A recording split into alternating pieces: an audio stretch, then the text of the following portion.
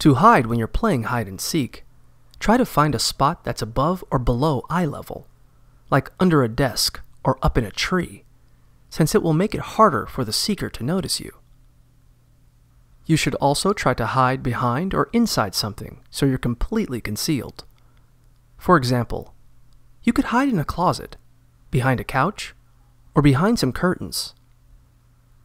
Once you find a good hiding spot, try to make yourself as small as possible by crouching down and drawing your arms and legs in so the seeker doesn't see you poking out from your spot.